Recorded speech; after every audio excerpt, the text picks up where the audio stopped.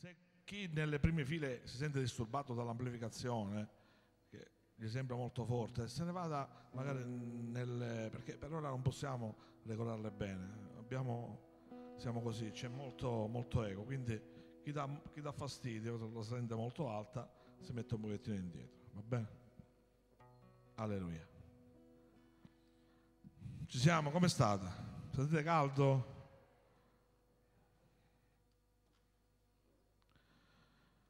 Avevo notato, un, prima di iniziare, un versetto molto, molto bello. Sapete, durante, le, durante la settimana no, ci riempiamo di, di tutto ciò che ci raccontano i telegiornali, tutto quello che succede nella vita, nella vita quotidiana. Noi ci facciamo un bagaglio di brutte notizie. Dovrebbero fare un telegiornale solo di buone notizie, ma purtroppo non lo fanno, solo cattive notizie.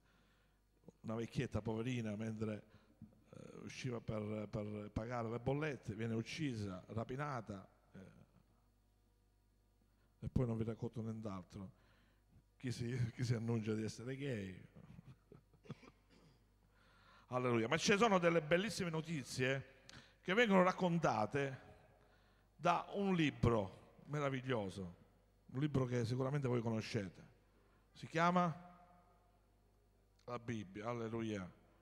Ci sono centinaia, centinaia e migliaia di buone notizie che dovremmo leggere ogni giorno, ogni giorno. Prima magari non abbiamo, non abbiamo tempo, non abbiamo ancora questa, questa cosa di iniziare magari la giornata leggendo una bella notizia che ci viene raccontata dalla Bibbia, ma ce n'è una che ve la voglio leggere ora, in questo momento, che è tratta dal, dal Vangelo di Giovanna, capitolo 10, dal, dal 14, se qualcuno magari, se Giovanna lo vuole mettere, stavolta mi sono portato la Bibbia e gli occhiali. Dice così, io sono il buon pastore e conosco le mie pecore e le mie conoscono me. Come il Padre conosce me, io conosco il Padre e depongo la mia vita per le pecore. Io ho anche delle altre pecore che non sono di questa ovile, anche quelle io devo raccogliere. Ed esse ascolteranno la mia voce e vi saranno un solo gregge, un solo pastore. Per questo mi ama il Padre, perché io depongo la mia vita per prenderla di nuovo. Nessuno me la toglie, ma la depongo da me, da me stesso. Io ho il potere di deporla e il potere di prenderla di nuovo. Questo comando ho ricevuto dal Padre mio.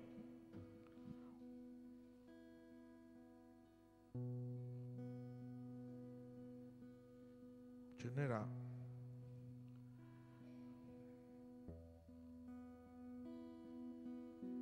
forse era in, in, prima dove dice che io ho tutti nelle mie mani e nessuno le può rubare dalle mie mani. Quale, quale versetto era, pastore? Nella Bibbia, era, era nel capitolo 10.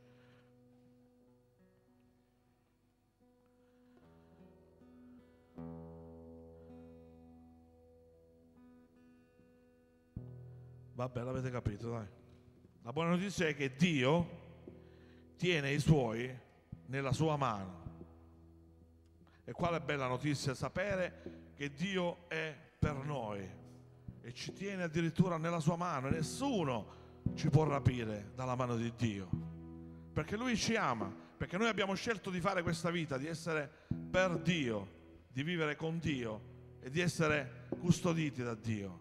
Ecco per questo Dio che si definisce il suo si definisce pastore, tiene le sue pecore che siamo noi nelle sue mani. E questa è una grande, una grande bella notizia, sapere che Dio ci custodisce continuamente. E siamo qui per ringraziarlo questa sera. Alziamo le nostre mani. Alleluia. Alleluia. Dio è buono. È di una bontà che noi non conosciamo, perché noi non riusciamo ad amare come Dio ci ama. Noi siamo degli esseri limitati, abbiamo un amore limitato, ma Dio è illimitato, ha un amore straordinario, grande, immenso. E noi ti benediciamo, dolce, meraviglioso papà. Grazie perché ancora questa sera possiamo essere qui. Grazie perché tu ci riempi questa sera di buone notizie. E la bella e meravigliosa notizia è che tu sei qui questa sera e sei venuto per noi, per darci tutto di quello che noi abbiamo di bisogno. Il mondo non può darci nulla se non cose cattive, perché chi governa questo mondo è cattivo per natura. Ma tu, che sei il nostro Signore, che sei il nostro Dio, sei venuto per fare del bene, solamente del bene.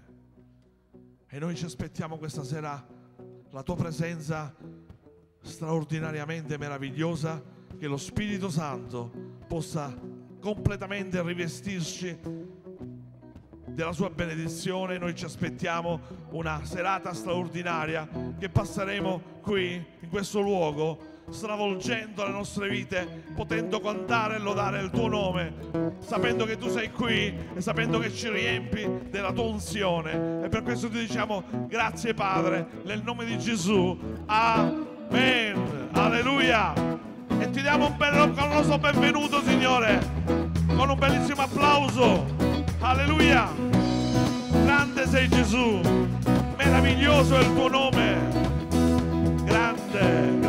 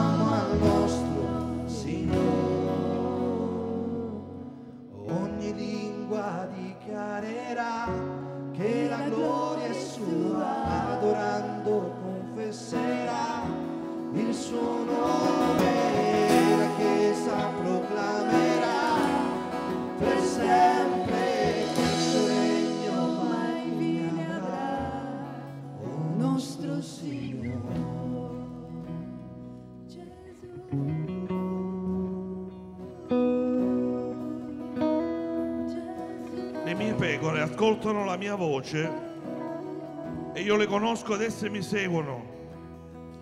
E io do la mia vita e non periranno mai. E nessuno le rapirà dalla mia mano. Il Padre mio che me le ha date è più grande di tutti e nessuno le può rapire dalla mia mano e dal Padre mio. Alleluia. Alleluia.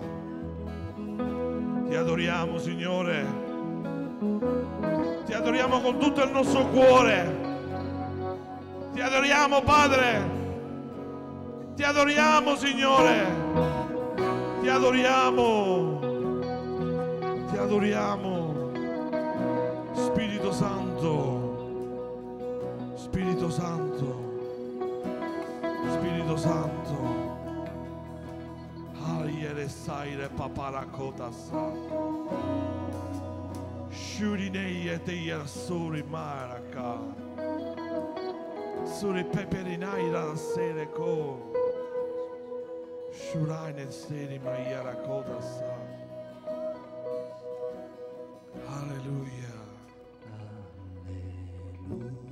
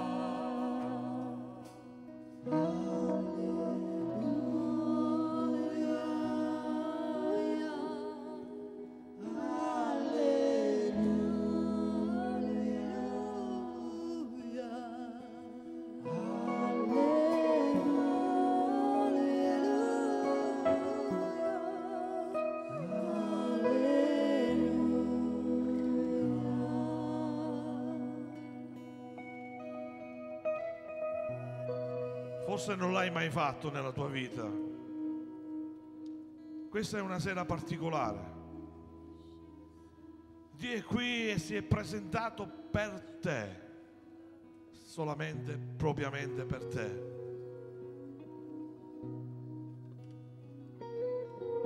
Forse non l'hai mai conosciuto, non hai mai sperimentato la presenza di Dio nella tua vita. Perché sei stato un, un tradizionale, una tradizionale.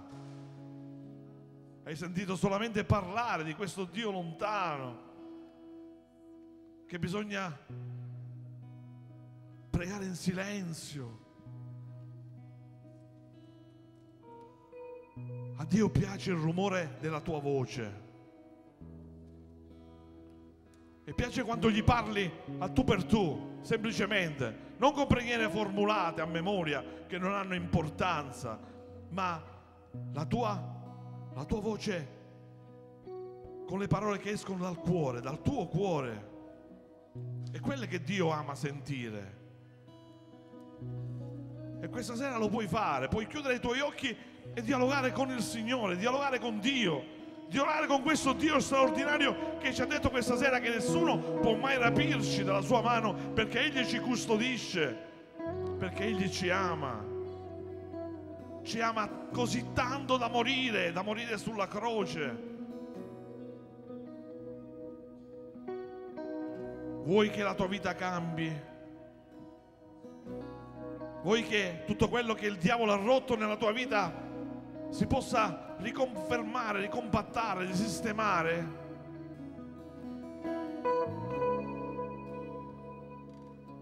Dialoga con Dio questa sera.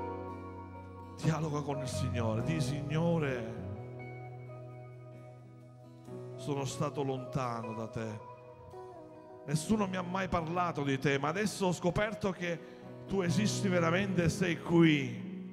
Io credo che sei qui questa sera e so che può succedere qualsiasi cosa, perché sei un Dio straordinario, meraviglioso.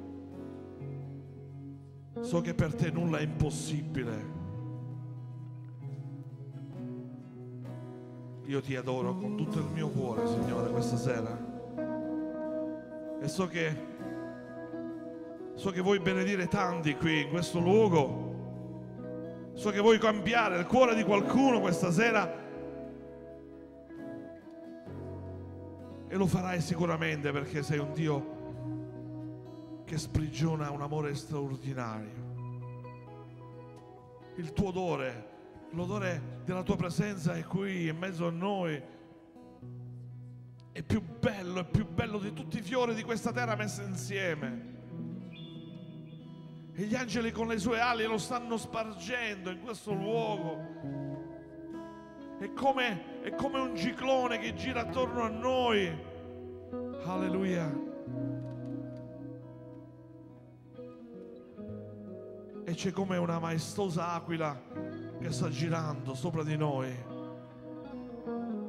E con la sua dolce voce ti sta invitando e ti dice vieni, vieni, sali sopra di me. Voglio portarti lontano nel terzo cielo.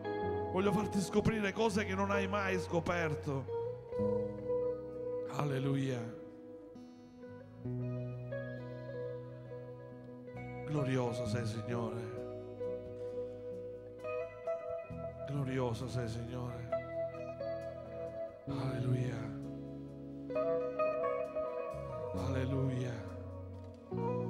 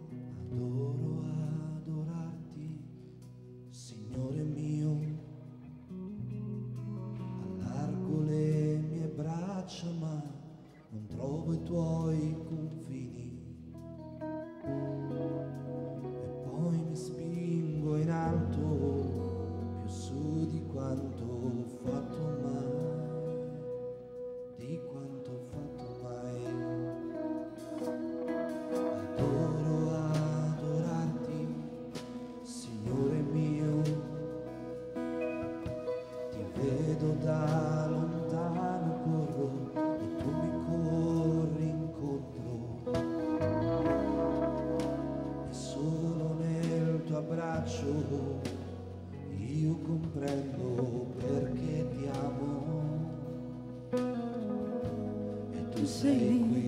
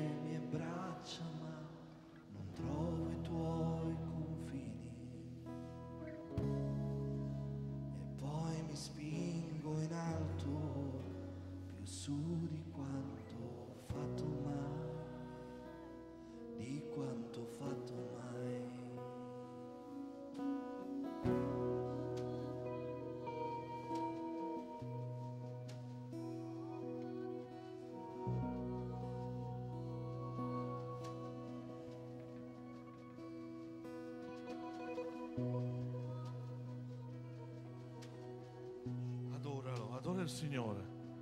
Adora in altre lingue, come ti viene meglio, ma adoralo adesso, ora. Hai esata. Shiranene che.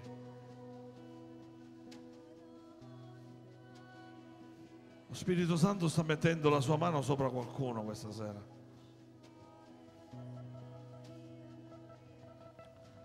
c'è qualcuno che in questi giorni è in pensiero per delle analisi, per dei risultati che deve ricevere. Sappi che Dio si sta prendendo cura di te. Non temere. Tutto andrà bene. Alleluia. Rode stare.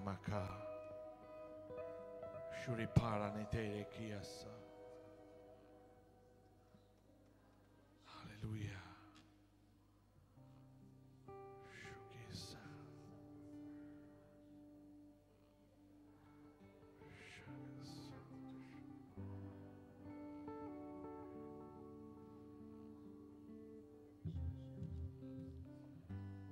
C'è qualcuno che soffre di formicolio alle mani e alle braccia per problemi di circolazione.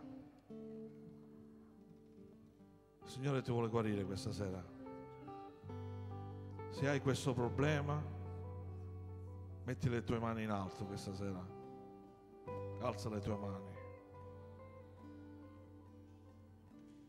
Alleluia, Dio ti vuole guarire. Noi ti saraka. Glorioso Dio. Glorioso Dio. Glorioso sei Signore. Shurekeisa. Alleluia.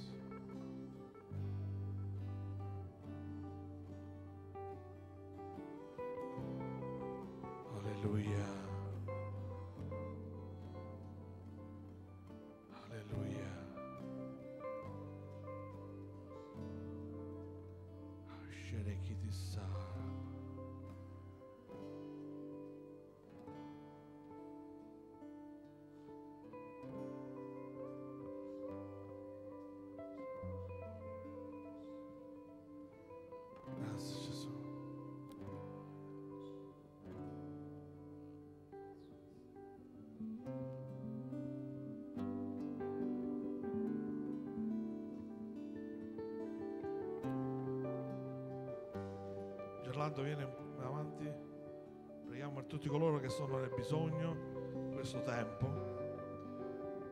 Focalizza mentre preghiamo una persona che ha bisogno, ha bisogno di essere guarito, di essere liberata, ma mettelo propriamente, focalizzalo nella tua vita come se fosse qui questa sera, qui dinanzi a questo pulpito e possiamo tutti quanti pregare per la, per la sua guarigione.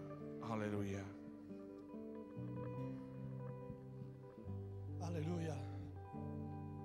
Sei buono, Signore. Sì, Signore, che può, che può misurare i tuoi confini, oh Signore. Noi sappiamo, perché lo dice la tua parola, che tu tieni tutto l'universo nelle tue mani. Ma una cosa ci è possibile. misurare il tuo profondo amore. Lo possiamo misurare, lo possiamo sperimentare, oh Signore. Perché tu lo hai rivelato attraverso la croce di Gesù. E noi possiamo viverlo ogni giorno. Possiamo sperimentarlo. Perché sei con noi tutti i momenti della nostra vita. E noi ti diciamo grazie Signore. Grazie per la tua presenza in mezzo a noi stasera. Ti diamo libertà, oh Signore, per mezzo del tuo Santo Spirito. Muoviti in mezzo a noi stasera. Tocca ogni persona che è qui presente, oh Signore. Tocca ogni cuore. Tocca la nostra anima che ha bisogno di essere liberata da ciò che l'opprime, Signore. Tocca il nostro spirito. Ancora una volta vivifica, Signore, il nostro spirito che è turbolento ogni giorno, Signore, si trova a combattere contro le insidie del maligno. Ma abbiamo sperimentato la tua vittoria, oh Signore perché tu sei con noi. E ogni giorno ci dai vittoria, Signore, sulle difficoltà della vita, perché tu sei il Dio con noi, il Dio per noi, sei l'Emanuele. Alleluia, gloria al tuo nome, Signore. Grazie perché sei risorto dai morti, sei il vivente e siamo nella gioia perché vogliamo adorarti, oh Signore troviamo gioia nell'adorazione perché tu sei con noi, oh Signore. Benedici questa serata ancora una volta, ogni fratello, ogni sorella, Signore, possano ricevere benedizione, Signore, perché tu provi gioia nel benedire i tuoi figli che sono riuniti nel tuo nome, che sono qui per adorarti, oh Signore. Alleluia, gloria al tuo nome, Signore. Grazie, Padre. Grazie perché stasera non andremo a casa a mani vuote, ma riempirai il nostro cuore di gioia, Signore. Alleluia. Grazie perché anche stasera possiamo sperimentare il meraviglioso amore con cui tu ci hai amati, oh Signore, dandoci guarigione, dandoci libertà di spirito di poter muoverci in questo mondo, Signore, a testa alta perché siamo figli del Dio Altissimo. Alleluia. Gloria a te, Signore. E ancora ti chiediamo di benedire la tua parola, oh Signore. Noi sappiamo che attraverso l'ascolto della tua parola possiamo essere liberi, ma possiamo crescere anche nella fede. Vogliamo essere sostenuti dalla tua parola, Signore, e vogliamo essere guidati dal tuo Santo Spirito. E ti preghiamo anche per il pastore, oh Signore, che la tua unzione sia su di lui, affinché la tua parola possa penetrare nei nostri cuori per portare frutto, Signore, e fare luce nelle tenebre, oh Signore, affinché le tenebre possano ricevere la tua luce ed essere illuminate, oh Signore. Alleluia. Gloria al tuo nome, Signore. Sei santo, Signore. E ancora grazie, oh Signore, perché anche stasera ci dai l'opportunità, oh Signore, di poter dare con gioia le nostre offerte le decime, oh Signore. Benedicili grandemente affinché questo luogo, Signore, sia completato per la tua gloria. E un giorno sarà pieno di anime che saranno redenti, oh Signore, che loderanno il tuo nome, che glorificheranno il nome dell'Eterno. Alleluia! Gloria a te, Signore. Gloria a te, Gesù. Amen.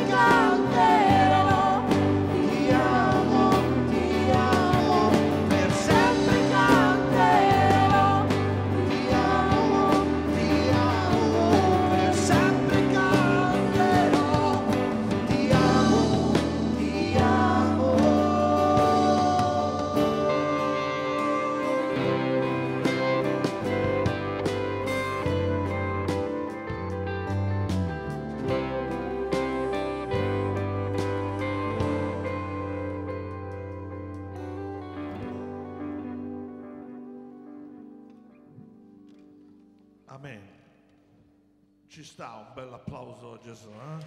Alleluia. Gloria a Gesù. Alleluia. Amen. Invitiamo il pastore continuando con un altro applauso. dai. Alleluia.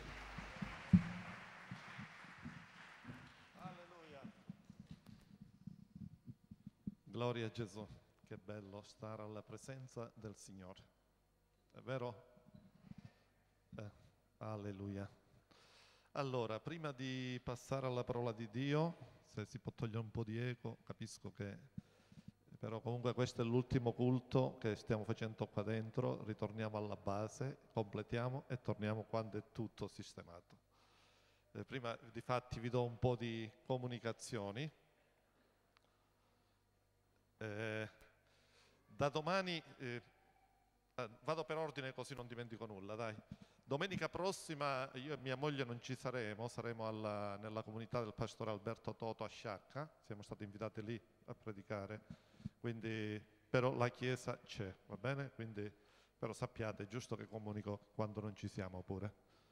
Eh, poi ancora ci stiamo trasferendo là dentro per fare lavori qui. Qui diventerà un cantiere, da domani si comincerà a smontare solo sedie, eh, quindi là dentro ci un po' stringeremo, ci adatteremo, eh, non porteremo di nuovo tutto lì, cioè, quindi sarà sospeso il servizio video, verrà sospeso momentaneamente, riprenderà quando ritorneremo qua dentro, perché non possiamo smontare di nuovo tutto.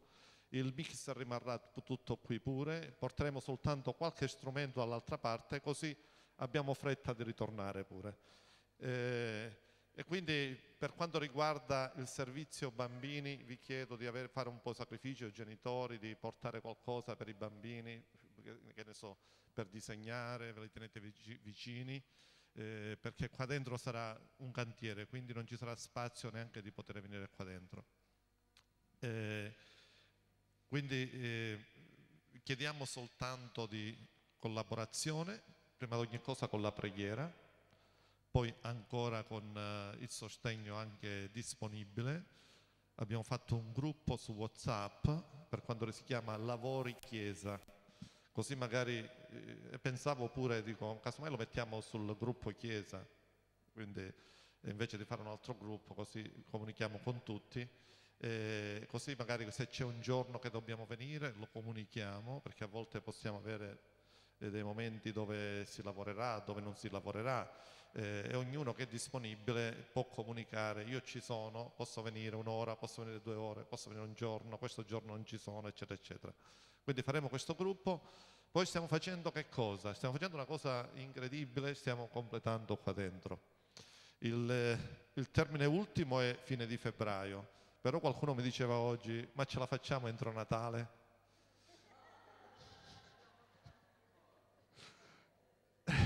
Ci possiamo provare, che dite? Io stamattina ho avuto un incontro con il gessista, ci siamo messi d'accordo per fare queste pareti laterali Abbiamo, I favori divini non mancano, vi dico la verità, abbiamo trovato un tessuto per quanto riguarda eh, fare le tende, lo, tutta la scenografia qua, eh, le tende da tutte le parti, nelle, sulle finestre. Eh, abbiamo trovato un prezzo incredibile, fratelli miei, quando il, il favore divino, ma un tessuto proprio da palco, ignifugo, eh, a fono assorbente, bellissimo il colore che cercavamo noi eh, su internet si parla da più di 30 euro a salire al metro. Noi l'abbiamo trovato, siamo andati per trovarlo al mercato di Favara. Incredibile, l'abbiamo trovato venerdì scorso, tanto che abbiamo fatto l'ordine, l'abbiamo trovato alla fine a 8 metri, 8 euro scusate, al metro per 3 significa strisce di 3 metri. Cioè, eh, queste, cosa sono queste? Non sono favori divini? Chi lo vuole vedere il tessuto abbiamo un campione là in fondo, però adesso vi facciamo vedere una cosa. Lillo stanotte non ha dormito per eh, farvi vedere come verrà l'effetto finale. Qui ci sarà un palco di 80 cm per, arriverà sotto trave, 80 cm alto, eh, per 13,50 sì, sì, spegnete le luci così si vedrà pure, guardate, questo sarà come quando sarà finito. Praticamente tutto tenta il palco, quello 80 cm, ci sarà pure un pianoforte, che il Signore ha provveduto anche un pianoforte a coda, bianco, poi le tende, vedete le finestre lì, la scritta Gesù è libertà che la sta preparando il fratello Enzo Salamone, è già quasi sta finendo, la metteremo dall'altra parte, qui ci verranno da questa parte tende, che ve ne sembra?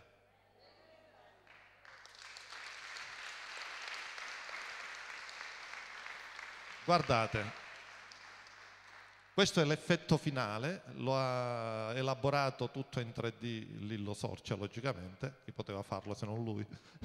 Stanotte non ha, far, non ha dormito per farlo, farcelo vedere stasera e quindi da domani si smonterà qui. Adesso eh, avete visto? Possiamo accendere le luci. Vi piace? Un blu bellissimo, cioè molto classico, che non passa mai di moda, molto bello. Eh, e poi il- un tessuto favolo meraviglioso. Se vuole vederlo, alla fine c'è un sacchetto là in fondo, potete toccare il tessuto, va bene? È- e sono favori divini anche questi. Quindi questa settimana che viene smonteremo le sedie, soltanto porteremo le sedie dall'altra parte, le cose che rimangono qui le bucheremo al centro, li copriremo e poi la settimana successiva o giù di lì verrà il gessista per fare i lavori, questa parete e quest'altra. Quella in fondo la faremo col Celenit, sarebbe un materiale fonoassorbente eh, e, quindi, e poi faremo pure il pavimento. Non vi dico quanto costa tutto perché altrimenti già... eh, ma costerà, però io confido nella grazia di Dio e confido, che ve lo dico sempre, voi siete generosi, io profetizzo su di voi, sulla vostra generosità, eh, il Signore ci darà di poter realizzare questo nell'arco di, anche perché accorceremo i tempi di breve tempo, perché noi volevamo fare tutto in Celenit, quindi dovevamo montarlo tutto noi, costava molto di più rispetto a come lo stiamo facendo, così verrà molto più bello. Però il gessista farà dei lavori che noi dovevamo fare col Celenit, ci abbiamo impiegato settimane, settimane, settimane, lui in alcuni giorni se lo finisce, quindi accorciamo anche i tempi. Eh, pregate per questo progetto, eh, la dedicazione vi ricordate l'abbiamo a febbraio, stiamo puntando a questo, quindi prima di febbraio dobbiamo finirlo, però qualcuno mi diceva oggi ma ce la facciamo per Natale? Voi che dite? Ci proviamo?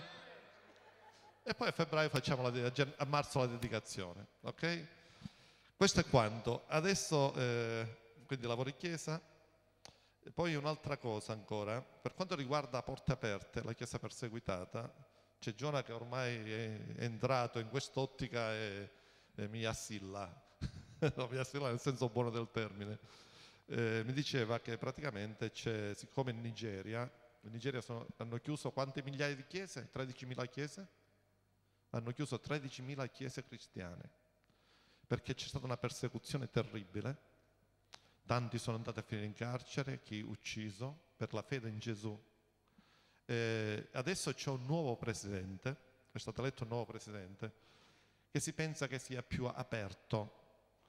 Eh, e, e difatti eh, si è preparata una lettera, hanno preparato quelli di Porta Aperta, una lettera da inviare al presidente della Nigeria eh, per, eh, che parla di tolleranza religiosa affinché si possa porre fine a questo massacro che si fa delle chiese cristiane. ok? Quindi siccome c'è questo foglio eh, che ce l'ha Giona e chi vuole può eh, anche mandarlo al presidente della Nigeria, quindi vi rivolgete alla fine del culto, chi è interessato si può rivolgere a mio figlio Giona, ok? Lui ha portato delle copie e poi parlate con lui.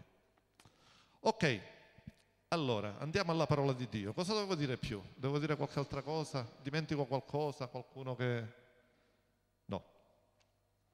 Io stasera voglio parlarvi di un soggetto, eh, vi dico come è nato questo. Mercoledì, mercoledì, venerdì, sapete che c'è il gruppo di Campofranco, fratelli e sorelle di Campofranco, e quindi sono stato eh, nella, nella casa della sorella Marisa, eh, Marisa, Giovanna, eh, abbiamo fatto il culto lì e, e sapete ogni volta prepararsi qualcosa non è sempre facile, ma tante volte confido pure nel Signore che sul momento mi dà una parola. E mi ha dato una parola che mi è piaciuta tanto a me, da- che l'ho voluta elaborare e condividerla con tutta la Chiesa. Quindi parlerò di ciò che ho parlato venerdì un po', ma lo allargherò, che è stato un dieci minuti, quindi qua io devo predicare due ore e mezzo, quindi ne abbiamo di allargare. Eh, quindi era- il tema era la vita e parlerò sulla vita stasera, perché la vita è importante. ok? Eh, se leggiamo eh, la scrittura in- nel Vangelo di Giovanni a capitolo 1, è scritto così.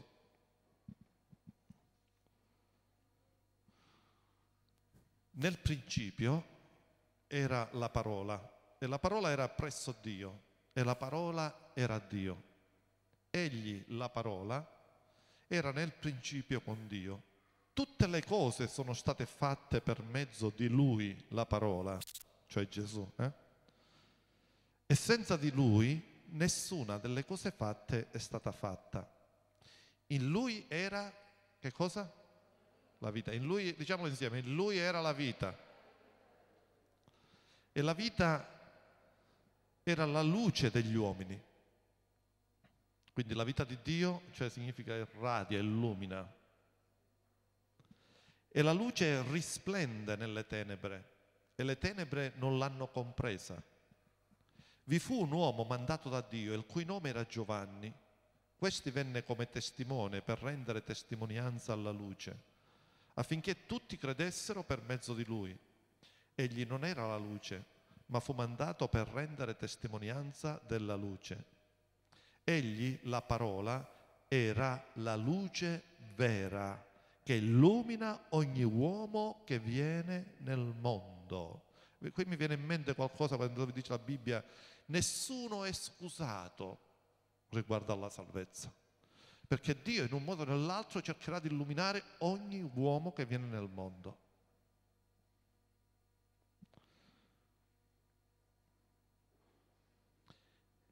Egli, la parola, era nel mondo e il mondo fu fatto per mezzo di lui, ma il mondo non lo ha conosciuto. Egli è venuto in casa sua e i suoi non lo hanno ricevuto, ma a tutti coloro che lo hanno ricevuto egli ha dato l'autorità di diventare figli di Dio, a quelli cioè che credono nel suo nome. Qual è il nome? Gesù. I quali non sono nati da sangue, né da volontà di carne, né da volontà di uomo, ma sono nati da Dio.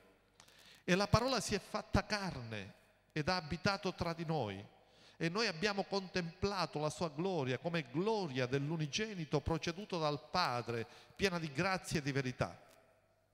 Giovanni testimoniò, guarda dice, Giovanni testimoniò e gridò dicendo, e come dice, e gridò, ardeva dentro, dicendo, questi è colui del quale dicevo, colui che viene dopo di me mi ha preceduto perché era prima di me.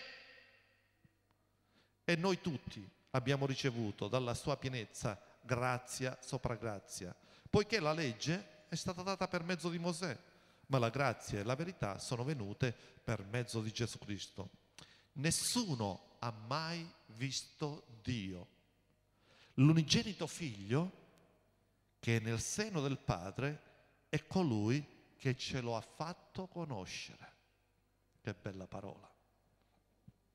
Questo è il principio della salvezza, fratelli miei, potete dire, nel principio, è il principio della nostra storia di cristiani, di redenti, ma è il principio anche per ogni persona che viene nel mondo affinché possa ricevere la salvezza. Ora diciamo, in lui, in Gesù, abbiamo letto che c'era la vita, è vero? In lui era la vita sin dall'eternità e questa vita non è che è venuta meno, ancora è in Gesù. Amen? Quindi la vita è lui. Ma vedete, nel concetto umano della vita eh, c'è qualcosa che è un po' distorto dal vero concetto della vita narrato dalle scritture. Difatti la vita, sapete, sulla terra, tanti dicono, certuni dicono, mi ricordo quando ero giovane c'era una persona che mi diceva, io faccio la bella vita, perché si divertiva, perché faceva quello che gli piaceva, dice che, che bello, fa bella vita. Un altro diceva, ricordo quando ero sempre giovane, dice ora sei, non sei più giovane, sono giovane, ma non sono più giovane come una volta. Dicevo questo proprio oggi a mia moglie, eh, non siamo più giovani come una volta, per non dire il resto.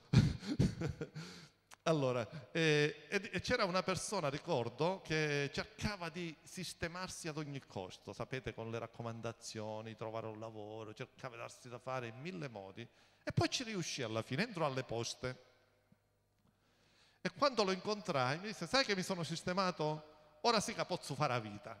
Mi fa, no? Dice così, ora sì che posso fare la vita. Perché eh, dico, ma cosa andrai a fare là dentro? Dice, niente, non vado a fare niente, mi sono sistemato.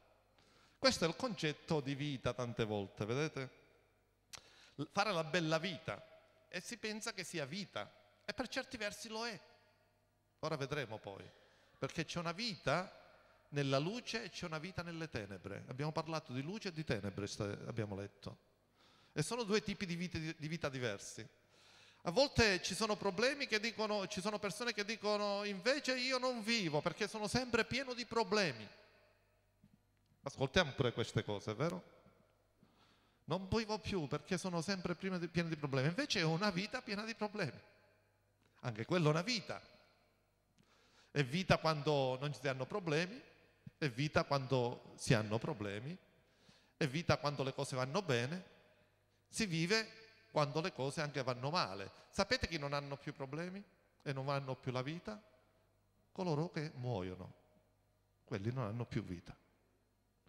Ma finché siamo su questa terra, dobbiamo, sappiamo che ci sono eh, delle situazioni che si creano, fanno parte della vita quotidiana, della nostra vita di ogni giorno, che possono essere a volte cose buone, a volte possono essere cose cattive, a volte tragedie pure. Avete visto cosa succede per adesso con l'immigrazione?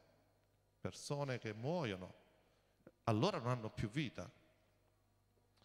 Quindi il concetto di vita qual è in realtà il concetto di vita in generale? Tutto ciò che viene all'esistenza è vita. Il problema che, do- che ci dobbiamo porre è ma che tipo di vita è? Ma che vita è?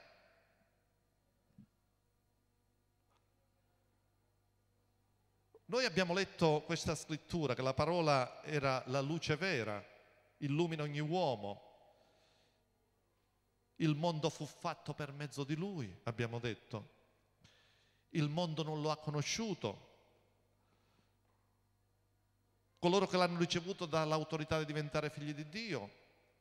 Parla di tenebre pure, abbiamo letto la scrittura, questa scrittura parla di luce e di tenebre, di due aspetti della vita in realtà. E c'è una connessione tra le parole che abbiamo letto. Vediamo che c'è Gesù creatore. Tutto è stato fatto per mezzo della parola, abbiamo letto, vero? Gesù creatore. E si parla di creazione. Abbiamo visto pure che Gesù è luce, che illumina ogni uomo che viene sul, nel mondo. Abbiamo visto pure che ci sono pure le tenebre e che le tenebre non vogliono la luce perché nel momento in cui arriva la luce non ci sono più tenebre. Poco fa abbiamo spento le luci, c'era buio. Quando accendiamo la luce non c'è più buio, tenebre non ci sono più quando arriva la luce, ma le tenebre non vogliono accogliere la luce.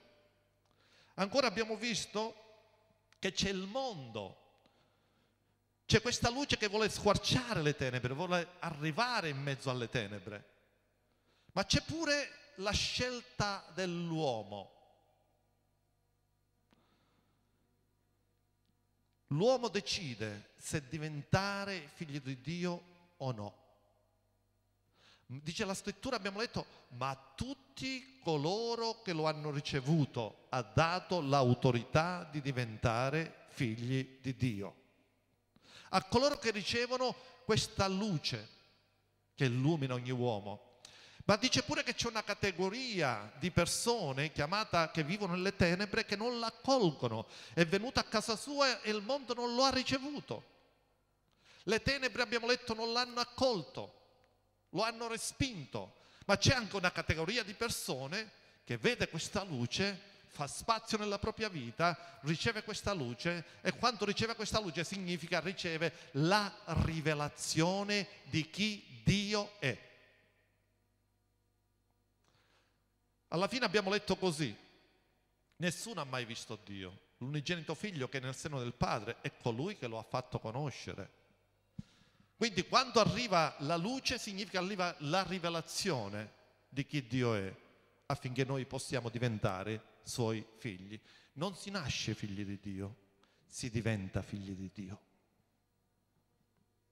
Ed è una scelta individuale a volte si pensa, ma tutti siamo figli di Dio. Tutti siamo creature di Dio e Dio ama tutte le creature e vuole illuminare ogni creatura che arriva sulla terra. Anzi, vi dico di più, la illumina. Gli dà questa rivelazione affinché possa ricevere la rivelazione di chi Dio è. Ma non tutti decidono di fare questo. Significa, cos'è la luce che illumina ogni uomo? Gesù è venuto e cosa ha fatto per illuminare e fare conoscere il Padre? ha parlato del regno di Dio, del Padre.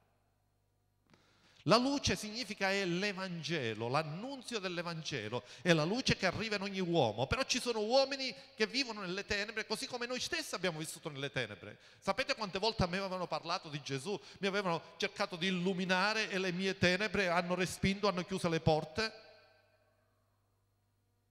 E non diventavo figlio di Dio? Così noi quando parliamo, come questa sera parliamo di Gesù, in realtà stiamo illuminando irradiando la luce del cielo sopra di noi. Amen? Ma ci sono persone che accettano, che accolgono, ci sono persone che respingono la rivelazione di Dio. La Bibbia abbiamo visto in queste scritture, ma in tante altre scritture, fa, uh, distingue due tipi di vita. Quindi una vita sotto le tenebre e una vita sotto la luce, ovvero illuminata dalla luce di Dio. E noi dobbiamo sapere questi sono due tipi di vita diverse.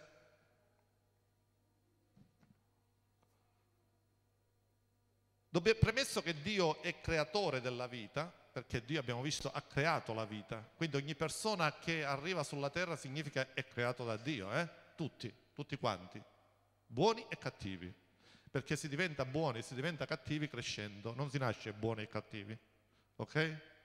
Dipende dalla cultura, dall'educazione della famiglia, dal contesto sociale, da mille altre cose, anche da fattori genetici tante volte, però in realtà si diventa buoni o cattivi. Quindi Dio è creatore della vita, però è pure vero che la vita sotto le tenebre non è il tipo di vita che Dio all'origine ha creato. Possiamo immaginare Adamo, quando fu creato, Adamo non aveva tenebre, Adamo conosceva Dio. Adamo era sotto la luce di Dio, Adamo passeggiava con Dio, parlava con Dio, poco fa il fratello diceva, Filippo diciamo, parla con Dio direttamente, così Adamo passeggiava con Dio, Adamo aveva comunione con Dio, Adamo sentiva la presenza di Dio, Adamo addirittura quando peccò sentì che Dio era arrivato e si nascose, è vero? Cioè era sotto la luce di Dio, non c'erano tenebre, le tenebre erano da un'altra parte, allora cos'erano le tenebre? Le tenebre erano un tipo di vita alternativo alla vita di Dio. Ed è quello che vediamo sulla terra noi oggi. Ci sono due tipi di vita. La Bibbia li distingue tra la Chiesa e il mondo, è vero?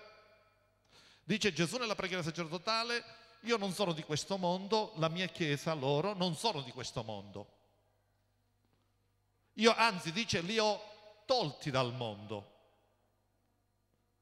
Che significa mondo? Mondo significa persone, creature che sono, vivono un tipo di vita alternativa alla vera vita, che è la vita di Dio, ed è la vita sotto le tenebre.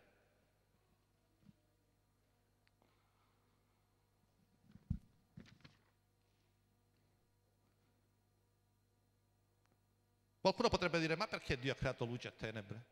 Poteva creare solo la luce e non creava le tenebre? Perché dobbiamo sapere quando l'uomo è stato creato le tenebre c'erano. Eh? Non è che non c'erano le tenebre. Come possiamo intuire noi che c'erano le tenebre?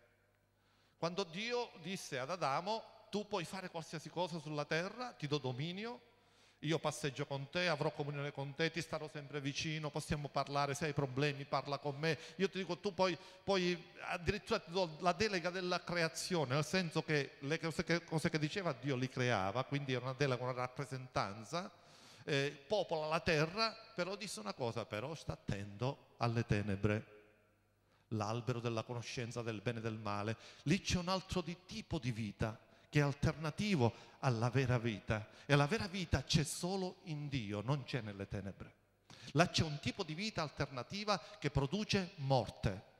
La vita di Dio produce vita. È vita in abbondanza e vita eterna.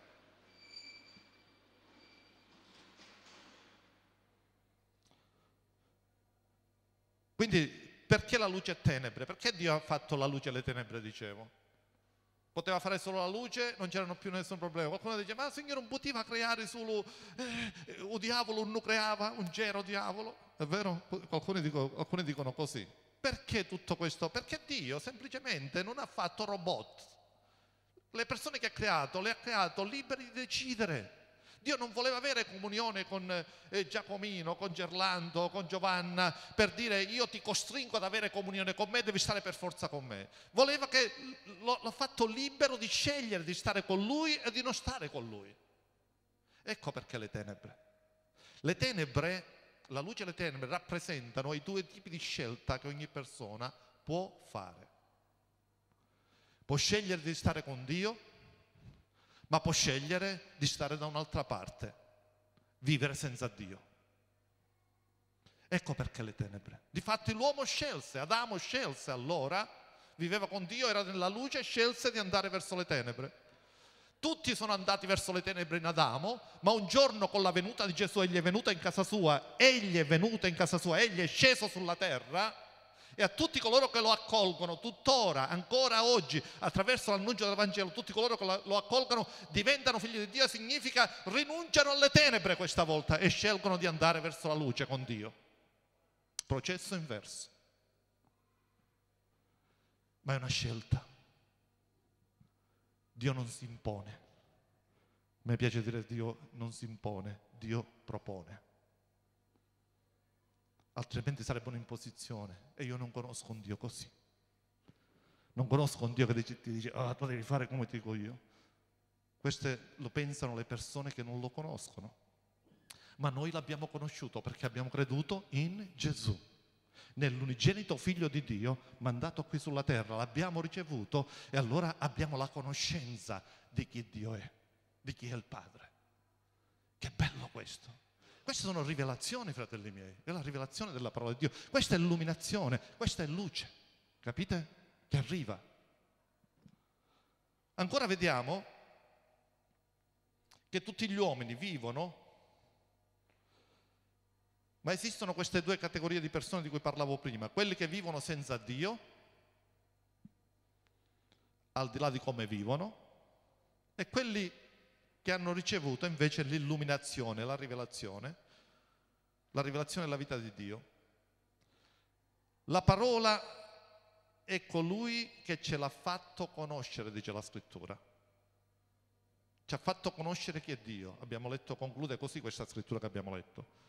La parola è colui, non è, la parola è colui, cioè si riferisce a Gesù, che ce lo ha fatto conoscere. E questa conoscenza ha prodotto in noi vita. Qual è la rivelazione affinché si possa vivere la vita di Dio, la vita con la luce?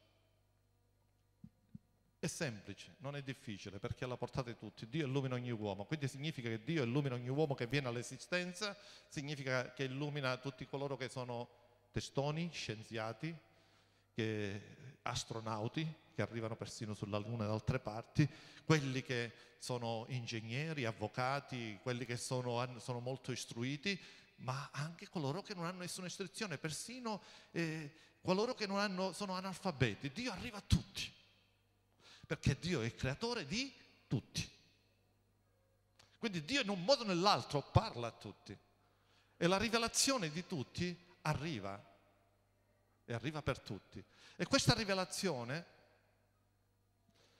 Dio vuole che noi la teniamo cara, stretta a noi, perché se noi teniamo stretta questo tipo di rivelazione non saremo confusi nel mentre viviamo qui in questo mondo, perché in questo mondo, sebbene noi abbiamo ricevuto la rivelazione di chi Dio è, sebbene abbiamo ricevuto la luce, per certi versi noi di riflesso siamo luce del mondo, come dice la scrittura, così come la luna è il riflesso del sole per illuminare la terra, così noi siamo il riflesso di Cristo per illuminare coloro che vivono nelle tenebre.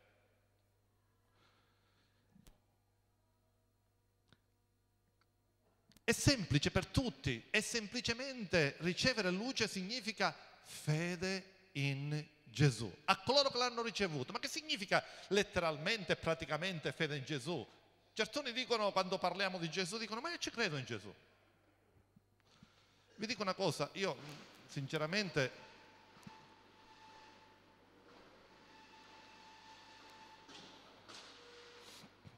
Allora, c'è chi chiude e c'è chi apre, c'è caldo. La cosa è la fede in Gesù? La fede in Gesù non è soltanto un mero credere con la mente che Gesù è è venuto duemila anni fa. Io vi dico la verità, quando io non credevo in Gesù, non credevo in Dio più esattamente, però credevo che storicamente Gesù era venuto qui sulla terra, ma questo non produceva in me nessun effetto nella mia fede. Er, ateo ero e ateo rimanevo. Così tante persone, sebbene magari vanno in chiese, in chiese tradizionali, eccetera, eccetera, anche in chiese protestanti, non dobbiamo toglierci dal mucchio neanche noi, sebbene si può andare in chiesa e, e magari si dice ma ci credo in Gesù.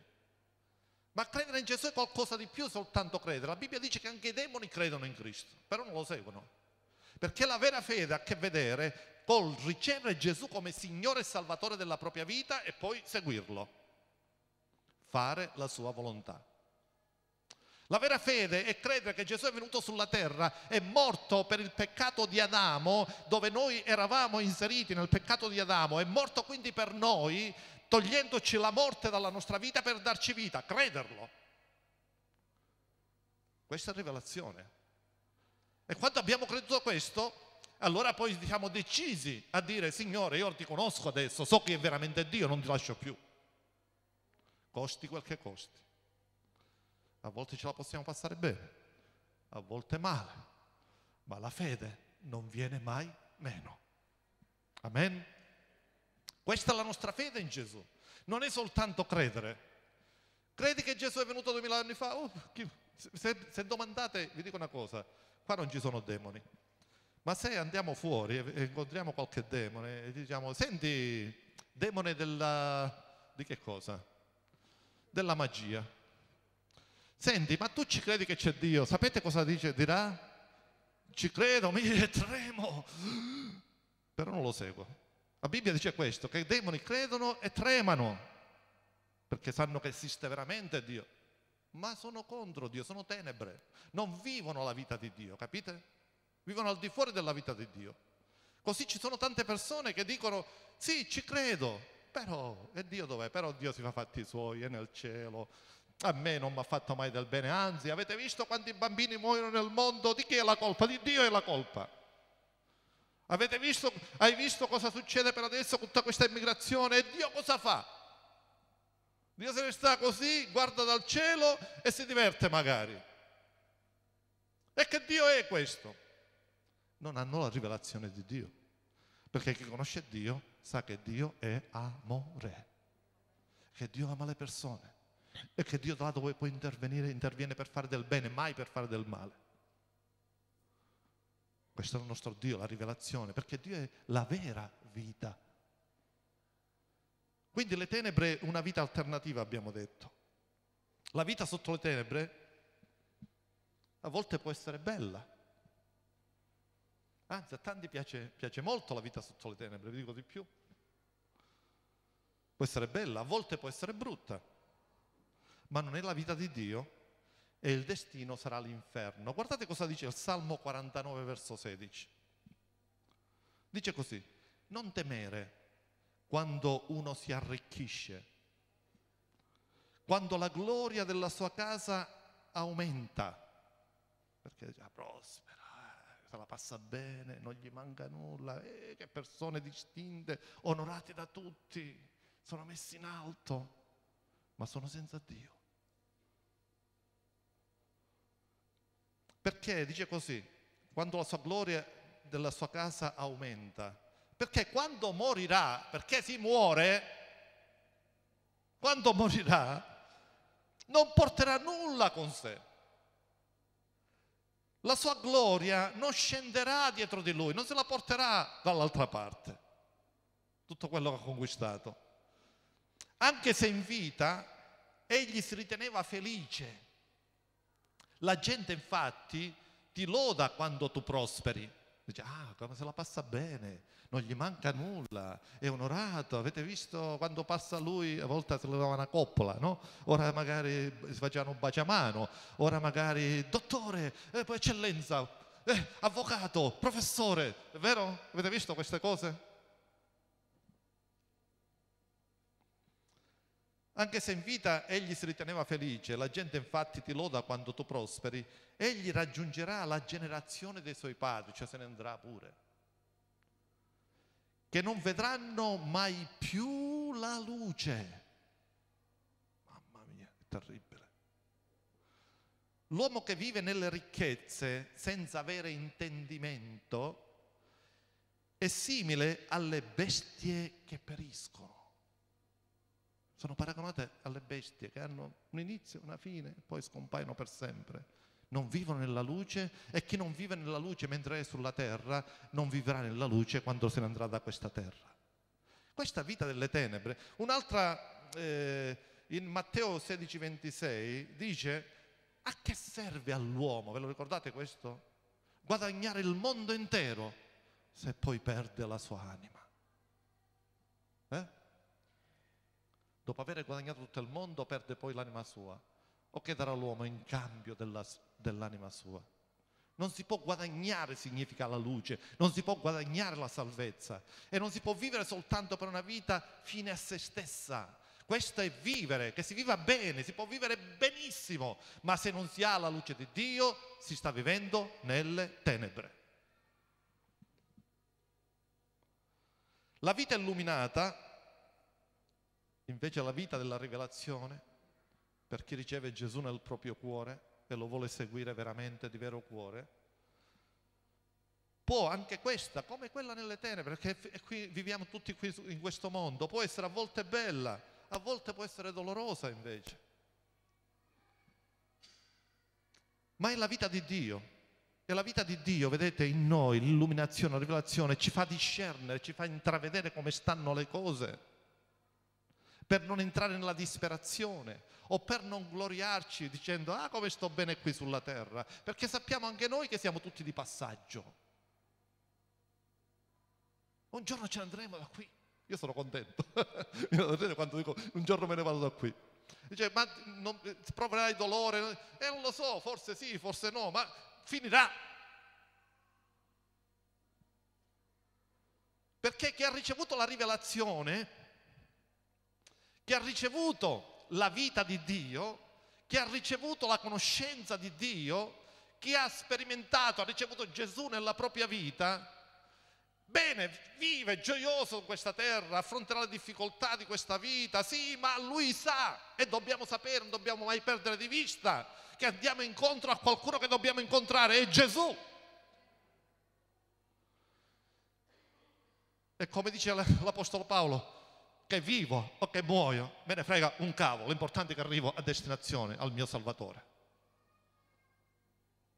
Paolo non disse me ne frega un cavolo, eh, questo... ho parafrasato un po' io, no? Ma se avrebbe usato il linguaggio di oggi avrebbe detto così. La vita, vedete, la vera vita è quella che si vive con Gesù. Che significa allora ci dobbiamo deprimere? No, dobbiamo essere gioiosi. Perché noi abbiamo ricevuto lo Spirito Santo e lo Spirito Santo, il frutto dello Spirito dice che è amore e gioia. A volte anche nelle difficoltà, dice certe volte arrivano le cose negative nella vita e non sappiamo a volte come affrontarle, però ci mettiamo un attimo davanti al Signore, preghiamo il Signore, stiamo davanti a Lui e comincia a entrare una pace dentro di noi perché frutto dello Spirito è anche pace e cominciamo a provare una gioia che è soprannaturale. E qualcuno ti può dire, ma come fai tu a essere tranquillo, sereno con tutte quelle cose che ti stanno succedendo? E io ho il Signore dentro di me. Altre persone sarebbero disperate a questo punto, tu invece ti vedo sereno. Beh, c'ho il dolore, c'è una sofferenza, ma c'è anche la pace del mio Dio nella mia vita. La vera vita di Dio è questa. Ricorda, tenebre, dicevo questo in, eh, a Campofranco, dicevo una cosa, molti sono concentrati sul tipo di vita delle tenebre. Purtroppo vi, vi confesso a volte anche i credenti, o in parte i credenti, sono trascinati dal modo di vivere, dal modo di pensare delle tenebre. eh, anche se sembra, dice, è tenebra, tutto quello che non ha a che vedere con Dio è tenebra. E, e vedete, e qualcuno a volte non distingue ciò che è la vera vita, la vita di Dio, dalla vita del tenebrosa. A volte c'è confusione. E come dicevo venerdì, come il vero con il falso. Sapete, se c'è il falso è perché c'è il vero. perché non ci può essere solo il falso di per sé. Perché si fanno le banconote false? Perché ci sono quelle vere. Se non ci sarebbero le banconote vere, non si farebbero neanche quelle false. Quindi quando c'è il falso sta a indicare c'è anche il vero dall'altra parte. Così anche la vita delle tenebre. Vedete, la vita delle tenebre certuni prosperano e dicono, ah io me la passo bene, io faccio questo, io faccio quell'altro, lo fanno senza Dio. E questo ci deve fare anche pensare per dire che c'è un tipo di vita alternativa che è la vera vita, che è la vita di Dio. E a quella noi ci dobbiamo concentrare, in quella direzione dobbiamo andare. Come possiamo farlo? Qualcuno può dire, noi abbiamo, noi abbiamo, perché Gesù non ci ha detto adesso che mi riceve ognuno segua la sua via e la via di Dio. No, Dio ci ha lasciato, Gesù ci ha lasciato invece delle bussole, delle indicazioni. L'illuminazione è anche quella, la parola. È vero? La parola si è fatta carne. Gesù è la parola, ma ci ha lasciato pure la parola, che è la Bibbia, che là ci, ci sono le indicazioni per discernere e distinguere il vero dal falso, il bene dal male, le tenebre dalla luce. E la Bibbia dice, vi ricordate, che comunione ci può essere tra le tenebre e la luce? È come se volessimo fare comunione tra Cristo e Belial, e il diavolo, metterle insieme. Che comunione c'è tra Cristo e il diavolo? Nessuna. Gesù disse al diavolo, tu non hai nessuna parte in me. Chiaro? Non abbiamo nulla a che vedere noi due. C'è una distinzione netta, c'è una voragine, non ci possiamo mai giungere. Il diavolo ci provò a fare un po' di comunione, nel senso che lo tentò nel deserto.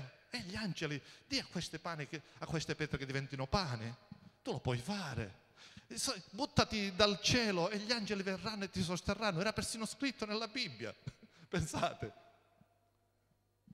E Gesù ha detto vattene via da me Satana che c'è tra me e te, non abbiamo nulla a che vedere, tu sei tenebra, io sono luce. Vedete, noi possiamo distinguere queste cose come cristiani e non solo possiamo distinguerle perché abbiamo la luce della parola di Dio, possiamo distinguerle. A volte, sapete, i cristiani vengono confusi perché non si affidano alla luce della parola. Quando la parola ti dice di perdonare tu non perdoni. Quando la parola ti dice di amare tu non ami.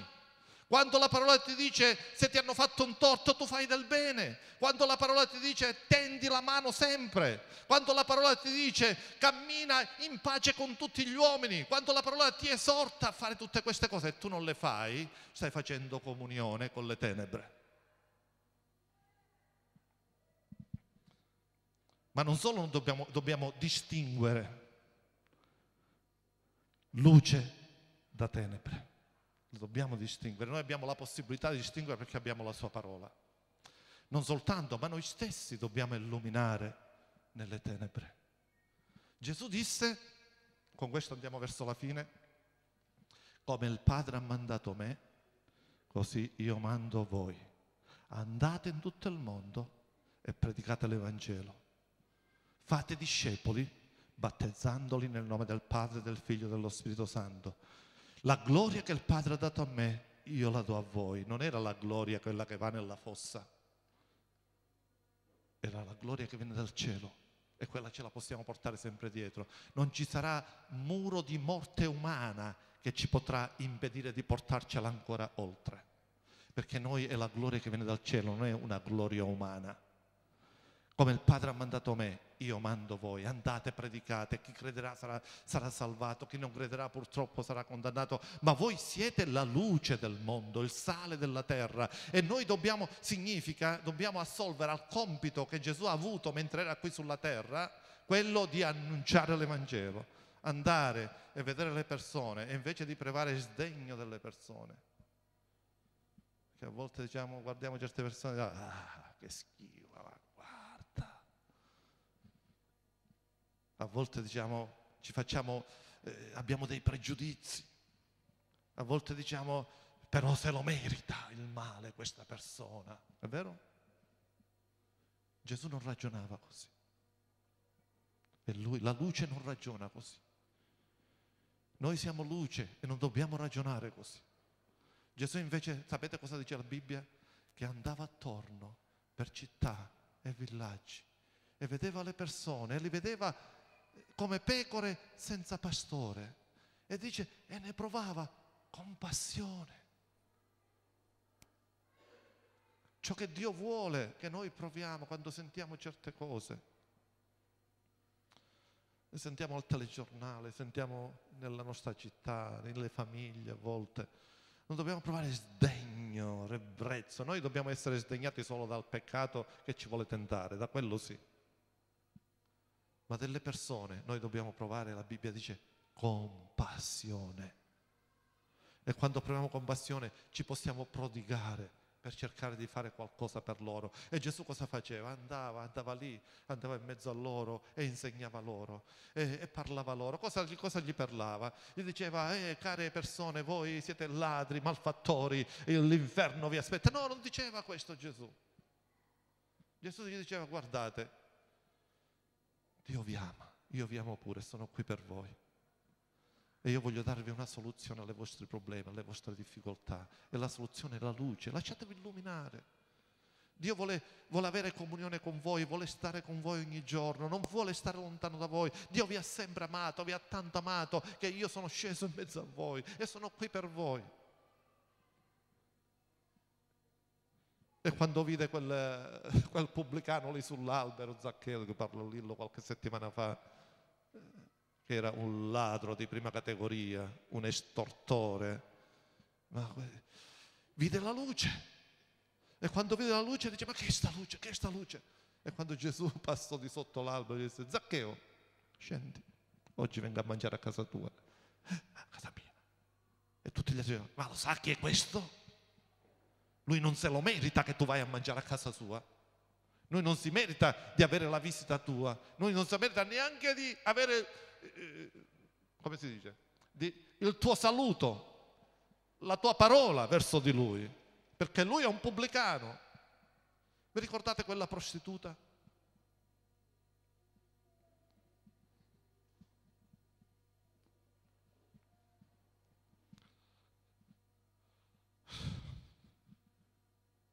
Cosa provò Gesù? Quella donna cantò dietro, vede la luce e disse Signore io voglio stare vicino a te. E tutti si indignarono e dissero non sa si fa toccare un rabbi che si fa toccare da una prostituta. Un rabbi, un rabbi non si poteva, era immacolato. Era stato attento, stato lontano da me, non toccatemi che sono santo. Questo era il rabbi, il concetto del rabbi.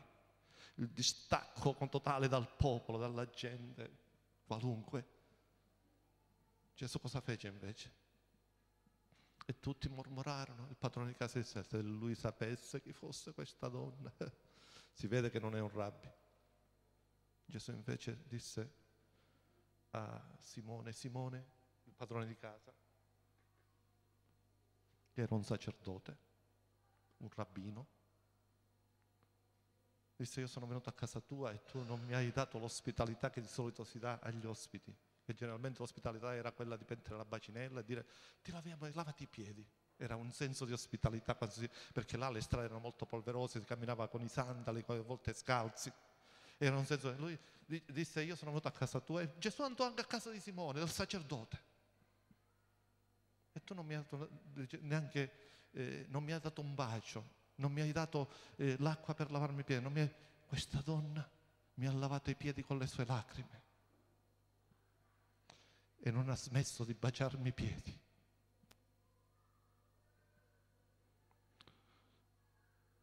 Questa è luce che illumina ogni uomo.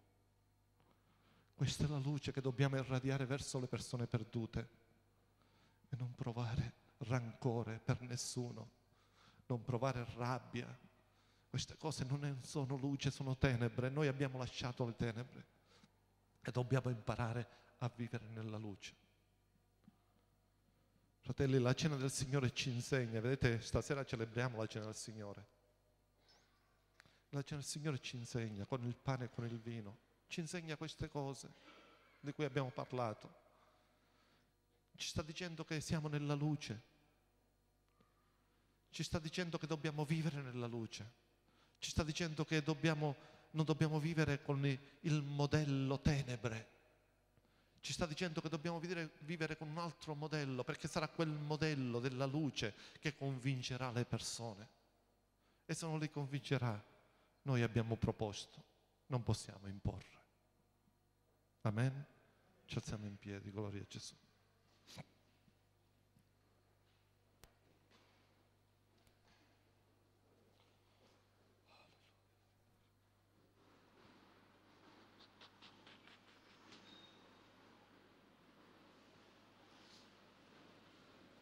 Alleluia.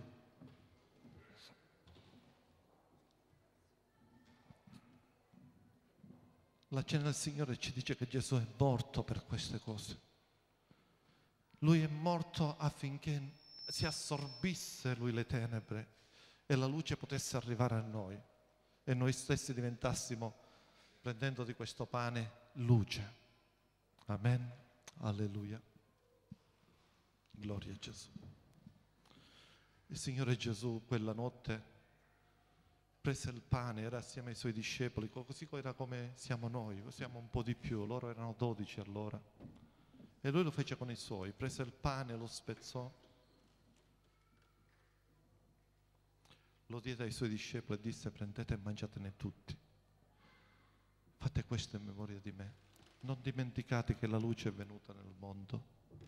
Non dimenticate che la mia luce è arrivata nella vostra vita, voi non siete più tenebre, siete luce. E che dovete, prendendo di questo pane, voi state dicendo ancora questa sera che siete la luce di questo mondo, ognuno per parte sua, ogni pezzetto per parte sua, ma voi siete luce del mondo. E quando celebriamo la cena del Signore dobbiamo ricordare ancora che siamo luce del mondo. Prendete e mangiatene tutti, disse Gesù. Fate questo in memoria di me. Non dimenticate mai.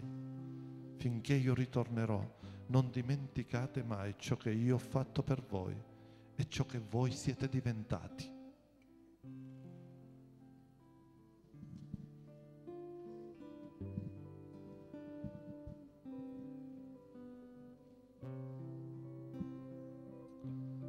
Allo stesso modo, dopo il pane, Gesù prese il calice, vi versò del vino dentro e lo diede ai suoi discepoli, disse prendete e bevetene tutti. Questo è il calice del nuovo patto, non più un patto a termine, ma un patto eterno, un'alleanza eterna. Io sono vostro alleato e quando voi bevete dal calice, voi ricordate ancora che siete sotto il mio patto, che io sono ancora per voi. Io non romperò mai il mio patto con voi e voi siete per me. Io e voi, un'unica cosa. Io e voi e voi in me, disse Gesù. E quando bevete, vi ricordate ancora, al di là delle circostanze della vita, al di là delle problematiche che questa vita ci presenta, noi siamo ancora suoi, siamo ancora sotto il suo patto. E il patto che ha fatto Gesù non è un patto umano, ma è un patto eterno, un patto soprannaturale. È il patto di Dio con gli uomini. Prendete e bevetene tutti e non dimenticate che io sono per voi e che nessuno può essere contro di voi.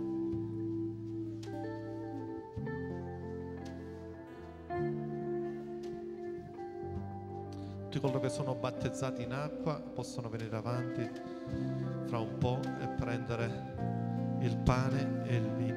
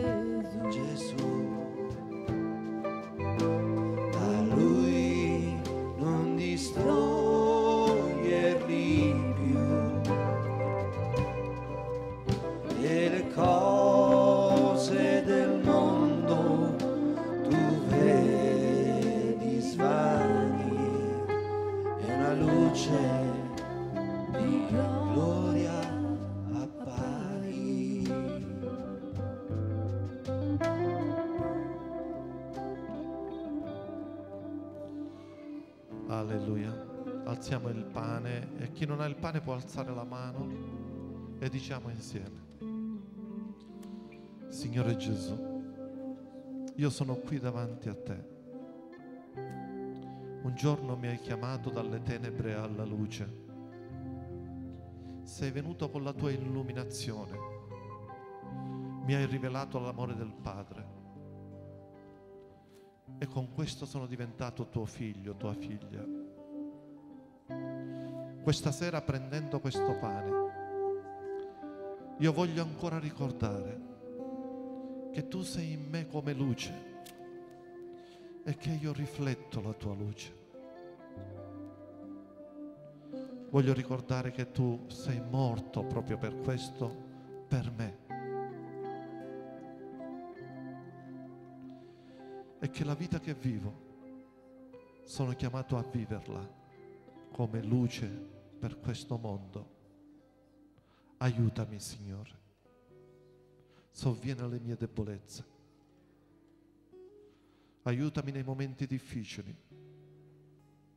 ma fa che possa rimanere luce che illumina ogni uomo. Mangiando questo pane, io ricordo ancora questa sera di appartenerti, che io sono in te, che tu sei in me e che io faccio parte del tuo corpo che è la Chiesa. Ti ringrazio Gesù. Amen.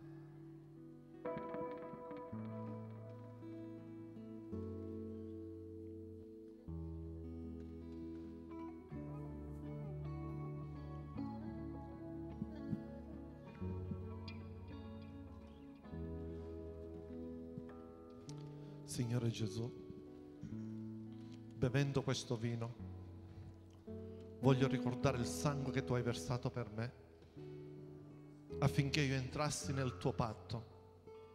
E poiché ho creduto, io sono entrato nel tuo patto, nella tua alleanza. So che tu sei per me, che non mi lascerai mai, che io ti appartengo. E bevendo da questo calice, io riconosco ancora questa sera che il tuo patto in me è ancora efficace sino ad oggi e per sempre. Grazie Gesù. Amen.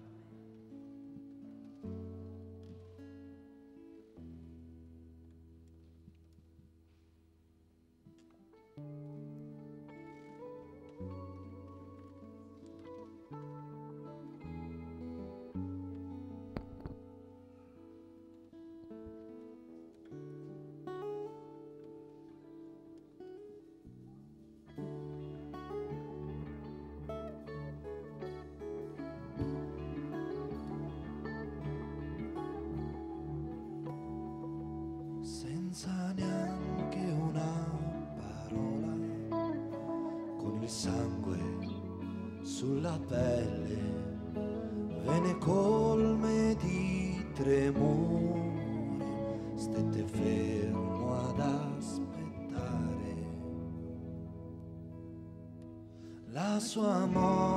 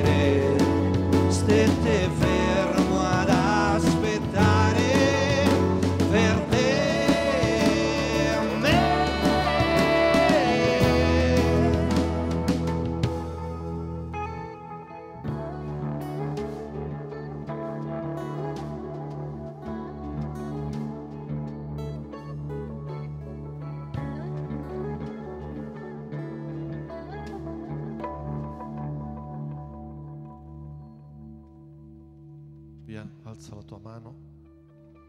Che Dio ti benedica in questo luogo, ti benedica quando esci fuori da questo luogo. Che Dio ti benedica nella tua vita coniugale, che Dio ti benedica nella tua vita familiare, che Dio ti benedica nel tuo lavoro, che Dio ti benedica nelle tue relazioni sociali, che Dio ti benedica ovunque vai, che la benedizione di Dio sia sopra di te, ti insegua e stia sempre sopra di te, che la benedizione di Dio ti illumini sulle decisioni che devi prendere ogni giorno, che la benedizione di Dio ti illumini, ti dia luce affinché tu possa discernere il bene dal male, che la benedizione di Dio ti illumini affinché tu possa decidere di fare la volontà di Dio in ogni istante della tua vita, che la benedizione di Dio ti insegue, ti accompagni, ti avvolga, sia come un mantello nella tua vita, che sia come una sostanza nel tuo cuore, nel tuo corpo, nella tua mente, che sia come un vestito che hai addosso, che la benedizione di Dio sia sempre sopra di te, perché Dio ti ha scelto perché Dio ti ha amato, perché Dio vuole stare con te, perché Dio ti ama di un amore eterno, perché Dio vuole avere comunione con te sempre, perché Dio vuole stare nella tua casa, nella tua famiglia, con tuo marito, con tua moglie, con i tuoi figli, perché Dio vuole stare all'interno di ogni settore della tua vita, nei tuoi pensieri e fuori dai tuoi pensieri. Che Dio ti benedica e con la benedizione di Dio vai, vai nel nome di Gesù. Amen. Amen. Gloria a te Gesù. Gloria a te Gesù. Abbraccia un po' di persone che stanno accanto a te e benedicili. Digli che sono importanti per te. Ci vediamo mercoledì e chiunque è disponibile faremo i lavori.